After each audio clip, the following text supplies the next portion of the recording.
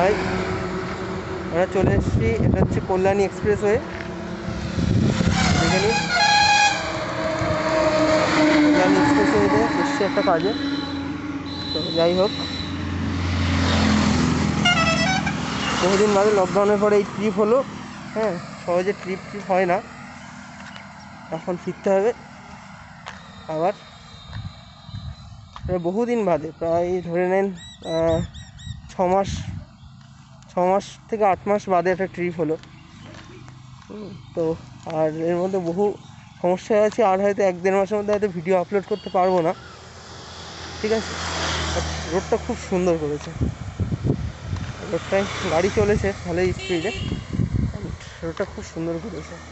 আর লকডাউনের মধ্যে রাস্তাঘাট পুরো ফাঁকা। মানে কল্পনা করা যাবে না। রোডটা কত ভালো হয়েছে। আকাশে মেঘও করেছে। আর দেখুন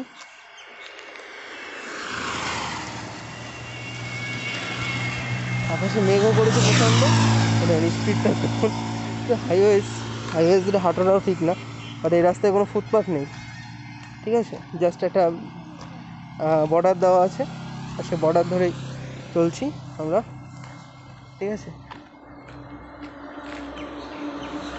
আর এই এরিয়ায় একটা সবথেকে বড়ো জিনিস এখানে শাক পাওয়া যায়। হ্যাঁ এখানে আমরা দেখেছি সাইডে কলমি শাক আর এই দেখুন পার্থেনিয়াম গাছ। যেটা পার্থেনিয়াম গাছ এই গাছটা সাধারণত গমের সাথে চলে এসেছিল আমাদের ভারতবর্ষে, মেক্সিকো থেকে মনে হয়। যেটা প্রচণ্ড অ্যালার্জিক রিয়াকশন প্রডিউস করে যাদের অ্যালার্জির ধাত আছে। ব্রঙ্কাইটিসের মতো প্রচুর গাছের জন্য। হ্যাঁ। একটা বাসক গাছ দেখলাম, বাসক পাতা। হ্যাঁ ঠিক আছে। লকডাউন চলছে, রাস্তায় বেরিয়েছি। হ্যাঁ। দেখুন তো ট্রাক একটা ট্রান্সপোর্টের গাড়ি। হাইওয়ে থেকে।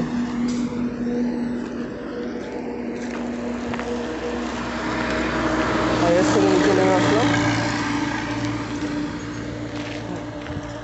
হাইওয়েতে আসলেই মনে হয় যেন রবীন্দ্রনাথ ঠাকুরের সেই কবিতা দুরন্ত আসার মতো। ইহাচ্ছে হতেন যদি আরব বেদুইন চরণতলে বিশাল মুরব্বী গ্রন্থে বিলীন ছুটছে গোড়া উঠছে বালি মরুস্রোতে বন্যি জালি চলেছে নিশিদিন তাই না? সুন্দর এনজয় করার মতো আকাশ দেখুন ওখানে পেট্রোল পাম্পও আছে। হ্যাঁ। এসছি বেসিক্যালি একটা কাজে। তো তার ভিতরে ব্লগটা তৈরি করলাম। বহুদিন ক্যামেরার সামনে আসছি না। আসব আরও কবিতা নিয়ে আসব খুব শীঘ্রই টাটা বাই লাইক করুন শেয়ার করুন সাবস্ক্রাইব করুন। ঠিক আছে? ওয়েটারি চ্যানেলটি সাবস্ক্রাইব করুন সাপোর্ট করুন। আর thanks for such a view because of কিছু কিছু জায়গায় ভিডিওতে ভিউ ছশো ছাড়িয়ে গেছে। Thank you